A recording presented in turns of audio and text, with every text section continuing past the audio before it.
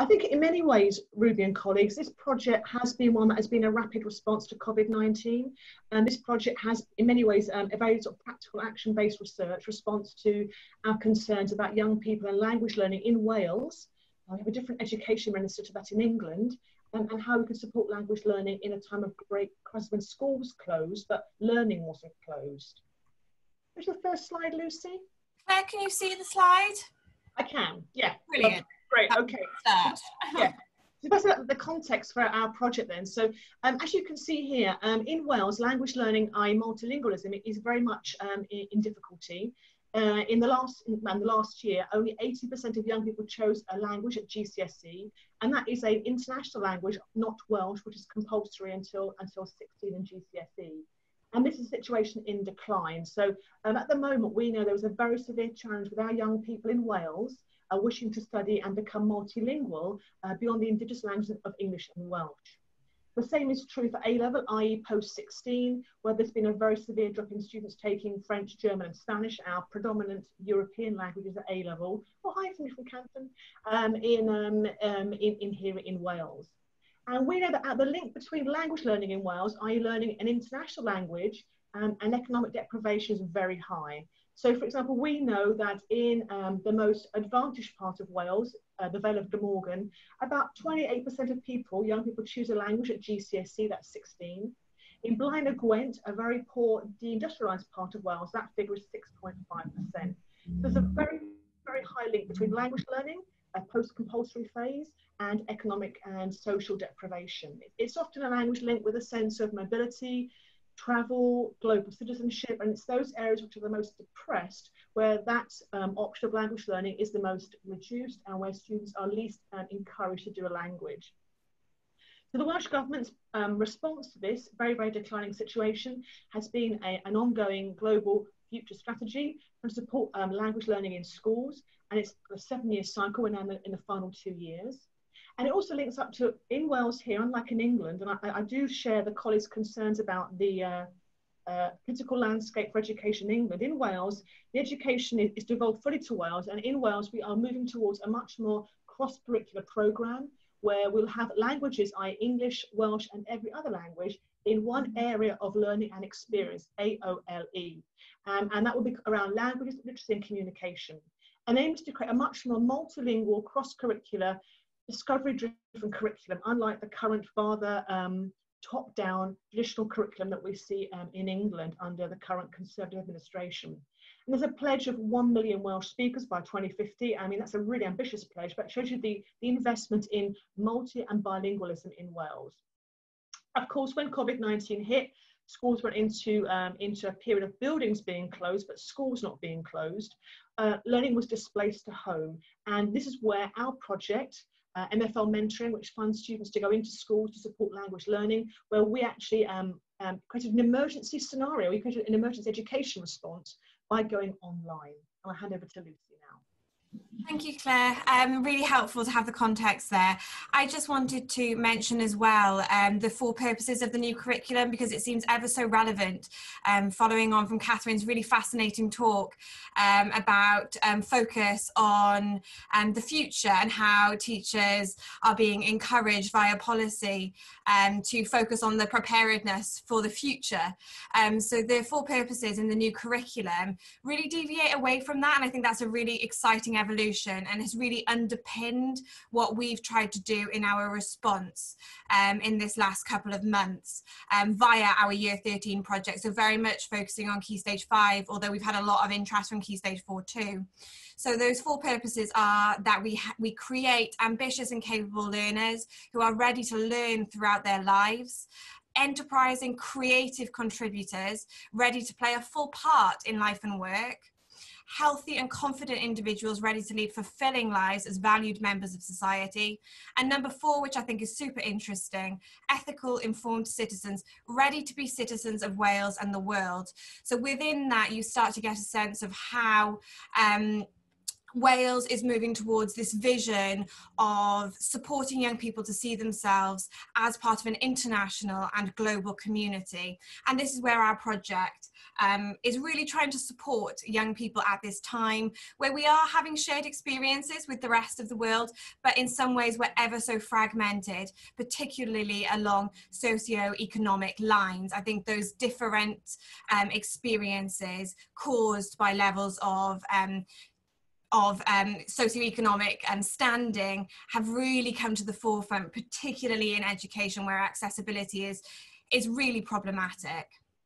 So our aim with this project, focusing on our Key Stage 5 students who will have left school in March and will be waiting now either to go on to university in October time or into the next stage of their lives, whether whatever that may be.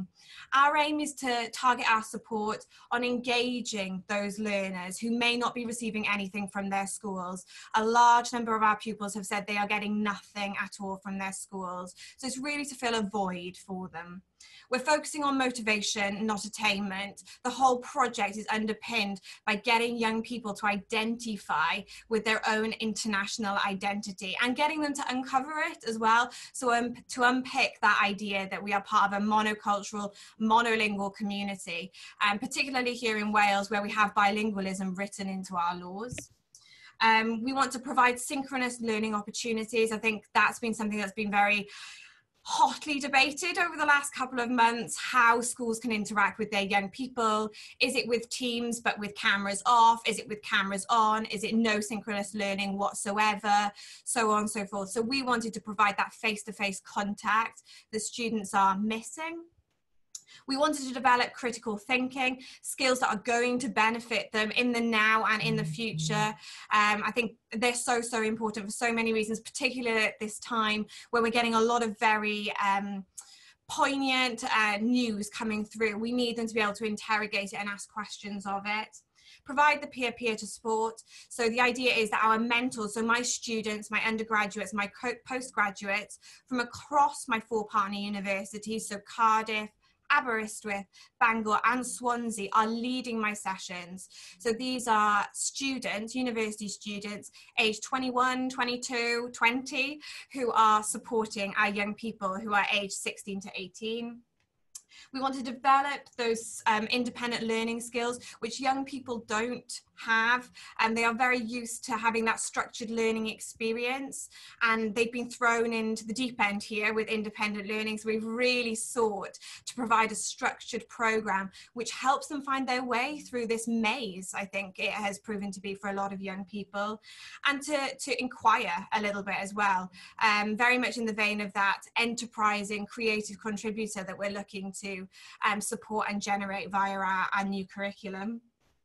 To support schools, I have every admiration for our teachers and what they've tried to provide over these last um, three, four months. It's been so challenging. I'm completely inspired by Daniel and his story of what his community have done for their young learners. Um, we as a project felt very, very um, compelled to support what is a huge network um, that we've created via the project. So we, we're in over half of the secondary schools in Wales now, which is over 100. Um, so we really felt compelled to support our teachers. Um, and then to provide just some continuity and some variety to the learning. I think that was really, really important um, during this time. So just to outline what our response was, our response was to put on a 12 week program of lectures and seminars to give young people an opportunity to see what a lecture look, looks like um, and to have a go at a seminar and to have to prepare work and have to come with thoughts um, and the the well having to come and contribute ideas um, which again is is something quite new to them to have to be curious and inquiring in their thinking to put on a series of language classes, so A-level conversation classes run entirely through the target language by my mentors, um, or taster sessions in Nepalese, in Taiwanese, in lots of different languages. So really um, trying to tease out um, that curiosity that I know our learners have and that I think we often underestimate. And I found that really interesting um, from the talks earlier, this idea that we want a safe space and that young people are looking to um, immerse themselves in space, safe spaces, what I found via the project is they're also very interested to explore um, other cultures, um, not talking about COVID in these cultures necessarily, but thinking about exciting elements of these different cultures, architecturally, literary, cinematically, photographically, graphic novels. They're very interested in exploring these expressive mediums of other cultures at the moment, um, which doesn't necessarily fit with what we were talking about earlier, but I'm very, very curious to unpick that actually.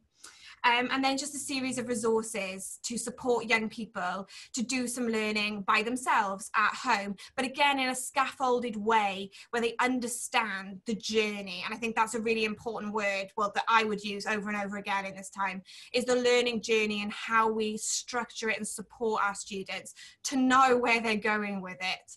Um, it's not enough for them to just go to, a, to give them a website, off they go, do the job. They really need support through that experience. So I've been surveying all of our pupils throughout um, this. I think that there's a really interesting piece to be written on this, particularly given what um, we've learned from today, really fascinating talks from other colleagues. Um, but I wanted to give you an idea of what the impact has been and then to talk a little bit about why I think we've had that impact at this time. And then Claire will finish off with why we think this is important. So over, we're in week, well, we just finished week nine of the project um, and we've been running up to 10 sessions per week. Over this 12 week period, we will have run about 80, between 80 and 90 live sessions. I lose track. There are new, new ones added every single day. We've had over 450 pupils engaged from across England and Wales um, over the first nine weeks of the project. And you know we're trying to capture the student voice through this. The idea of the project is not to be a top down approach. It's about responding to what pupils want. So we keep flexing to the feedback that we receive from them so this one really stood out to me. The project has introduced me to new subjects I've never learned about before. So it's made me very excited about what I'll learn in uni. We were really conscious that this big gap between schooling education and university education was going to cause a lot of anxiety in our young people, um, as well as a real skills gap in terms of what to expect when you get to university. Um, and I'm sure university colleagues who are present here will be um, struggling with um, that conversation about blended learning, face-to-face learning, complete online learning and what our young people can expect when they turn up in October is yet to be determined. So we wanted to upskill them and get them ready for some really exciting blended learning and for them to be excited by it, not put off. 88% of our participants have said that it's increased um, their curiosity. So our project in its normal iteration is all about stretch and getting young people to think beyond um, what they learn in the classroom, i.e. can you order a baguette in France? I don't really care about that. What I do care about is are you intrinsically motivated to think about how a young person in France is going to approach um, the world? I think that's that's interesting and how does that approach intersect with your own global view? Um, loads of them have talked to family and friends, which is a really interesting um, element, given that sometimes we really find a disjuncture um, in terms of what we're saying in school about how important languages are and what's being and what's happening at home and what's happening in the media. These big long quotes, I put them up there just for you to have a bit of a read. But again, it's reinforcing this idea that they're really curious about other cultures. We ran a cultural, um, well, we ran a language taster session on Nepalese.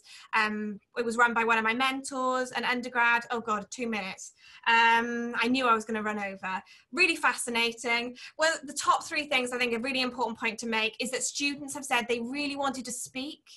Um, so that idea of being disempowered verbally wanting to communicate with other people and build and develop a community has been very, very important. Um, the welcome, welcoming environment has played a really, really important part in that aspiration for university, as well as confidence. Young people have lost confidence in this time as learners and as people of a community. Um, and I think building that and reinstating that, that feeling of coming, greeting other people has been really, really important. Claire, why is this important? Yes, yeah, so I think you know, listening to the, the again the other um, interventions today, I think for us it's been really important to give um, these young people aged 16 to 18 motivation to keep going. I mean, when you're sitting at home in your bedroom uh, or in your living room, trying to think about why should I carry on engaging with education, it's giving them these really interesting role models um, for, for their university students who've been there as teachers, mentors, and near peer learners. So the key thing is motivation and seeing somebody like you three to five years on that you could be motivation, aspiration. I think secondly, we've wanted very much to plug a gap and to be aware that although um, giving people resources to have a look at, you know, look at, you know, um, in their own time, isn't the same as building that community online. So synchronous online community building has been really important, respectful, professional, educationally inspiring, we hope. So that important community of learning. I think then lastly, of course, we've been absolutely key here that the whole project is supporting schools. We're not replicating the curriculum. We're not replicating what they might do in the classroom, but we're supporting, giving that peripheral support, that contextual support to keep learners going so that when they go back to school now in Wales and in September or in October to university, that student still feels engaged and wants to carry on exploring learning on a discovery model. Again, we're supporting in many ways a Welsh vision for education, discovery and curiosity, and we put language at the real heart of that. Thank you.